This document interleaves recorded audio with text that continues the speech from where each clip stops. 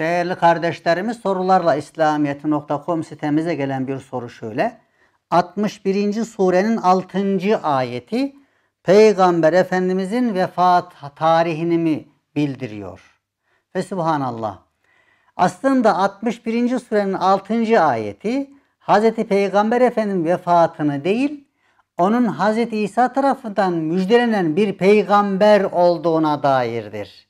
Ve oradaki Kur'an'ın ifadeleri işari bir tefsir metodu olan ebced hesabıyla peygamber olduğu yılını aynen göstermiştir.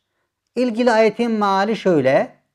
Meryem oğlu İsa demişti ki Ey İsrailoğulları ben size Allah'ın elçisiyim. Benden önce gelen Tevrat'ı doğrulayıcı ve benden sonra gelecek Ahmet adında bir elçiyi müjdeleyici olarak geldim. Şimdi ayet böyle.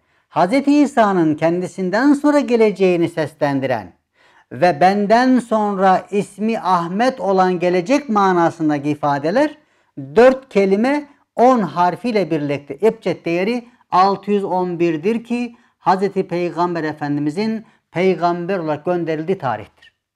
Hz. Peygamber Aleyhisselatü Vesselam'ın vefatı ilgili işari tespitlerden biri ise şöyle. Bakın Kur'an-ı Kerim'de Peygamber Efendimiz'e hitaben eğer seni vefat ettirirsek cümlesi üç defa zikredilmiştir.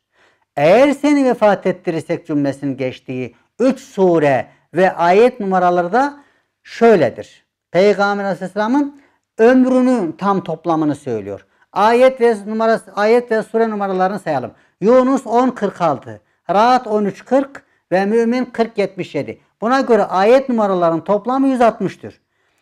Sure numaralarının toplamı ise 63'tür. Eğer seni vefat ettirirsek cümlesinin harfleriyle beraber ebced değeri ise 632'dir.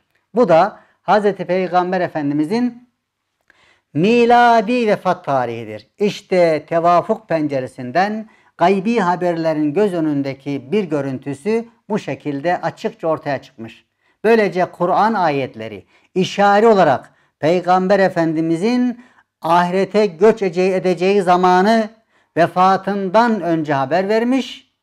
Bu da Kur'an'ın binlerce mucizesinden bir tanesi olarak tarih sayfasında kendini göstermiştir.